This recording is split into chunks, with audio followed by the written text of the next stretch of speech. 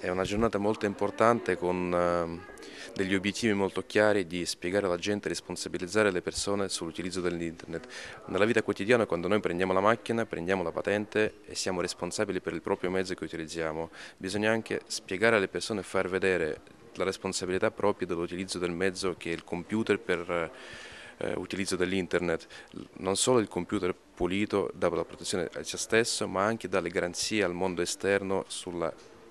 sul, su, sull'assenza dei rischi e sull'assenza di creare dei botnet, quindi di, comunque di contribuire nel, di contribuire nel cybercrime.